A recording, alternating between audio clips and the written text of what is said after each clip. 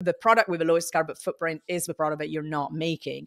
And this speaks to repairability. If I can repair something, I don't have to buy a whole new machine. Or if I can harvest pieces and components from different machines that have reached end of life and create a new one, again, that's another way of really thinking about sustainability. But how are you balancing the making something that is robust and at the same time easy to repair. Repairability is the cornerstone to maintaining a PC beyond its first useful life and into future uses. There are a lot of uh, methodologies being debated about how to attribute uh, emissions to refurbished PCs because it is complicated. You know, you have uh, already accounted for the emissions in that first life.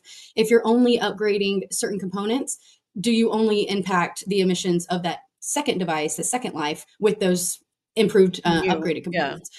So that's been a, a, request from customers as well is, hey, if I want to extend it another year, what do I need to take into consideration to attribute emissions and account for them. Um, so that's uh, you know kind of kind of the same hurdle as the industry needing to get more specific on product carbon emissions and um, and the components that come with it, the supplier data that comes with it, all of that. I think it kind of tiptoes into services. So we do yes. have a service for Lifecycle Hub where we can fully manage uh, you know your fleet and do that refurbishing and then that redeployment to you and run the analysis to say if this product should continue on or if it should be repurposed for spare parts or for um, refurbishing coaching